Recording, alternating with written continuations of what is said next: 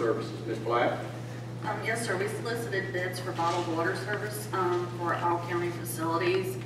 Um, vendors were requested to submit pricing on rental of equipment and water bottles based on the average, um, usage per year. You have the estimated cost. We received, um, two bids that met specifications. Any questions, Ms. Black? Hearing none, agenda